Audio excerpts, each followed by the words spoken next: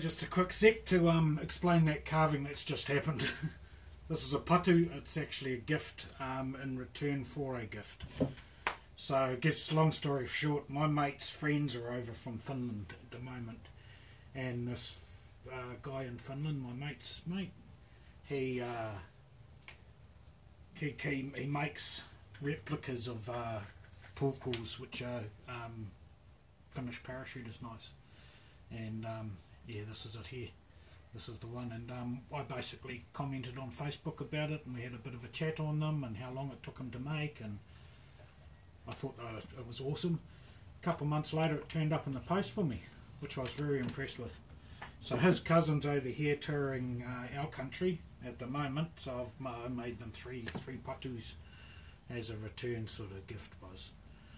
And um, yeah, just locked them up, and uh, yeah, I hope you guys enjoy your tour. Um, enjoy our country. The South Island's going to rock for you. They're going down the South Island on some bikes, cruise along, um, on some Harleys. So pretty cool. Alright, have fun and thank you very much for the knife. I've used it heaps, heaps on carving and I've cut a, cut a deer up with it, skinned a deer out with it. So, brilliant little knife, man. Thanks.